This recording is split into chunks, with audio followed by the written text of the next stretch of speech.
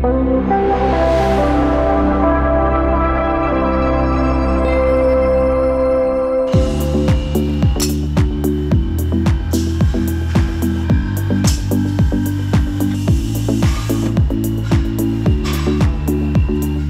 de voerkosten is toch de grootste kostenpost op het bedrijf. Ik vind het heel interessant om met die gegevens aan de slag te gaan en ook om te proberen het bedrijf te verbeteren en ook qua kosten goedkoper te worden.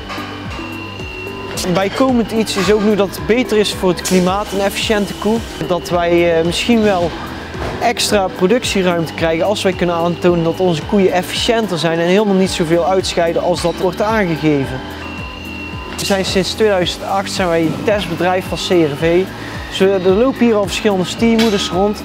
En uh, ja, misschien komen nou door deze testen nog wel extra stiermoeders eruit. De resultaten die wij nu zien bij ons op het bedrijf, aan de uiterlijk van de koe kan je eigenlijk niet zien of dat ze efficiënt is, ja of nee. De brede koeien waar veel voer in past, dat zijn niet de efficiënte koeien. Vanaf 100 dagen zijn de koeien door de negatieve energiebalans heen Daardoor gaan ze meer kilogram ruwvoer opnemen. Dat kan, als je bij een vaars ziet, dan scheelt dat 10 kilo. En uh, daardoor hebben we nou extra voercurve in de melkrobot gezet. Waardoor koeien sneller afgebouwd worden als ze drachtig zijn. Met als resultaat dat we 10% minder krachtvoer gebruiken als voorheen. En de productie is hetzelfde gebleven.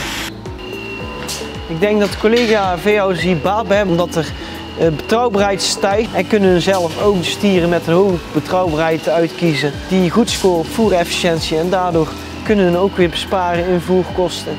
En uh, misschien is het ook nog wel iets met strengere klimaatregelgeving misschien toch nog wel beter kan uitpakken voor onze uh, boeren. In de week van de voerefficiëntie is het op woensdag 18 maart bij ons uh, open dag. Dan vertellen wij en onze toeleveranciers wat meer over het verzamelen van uh, gegevens over voerefficiëntie. Meld je dus aan en dan zien we jullie dan.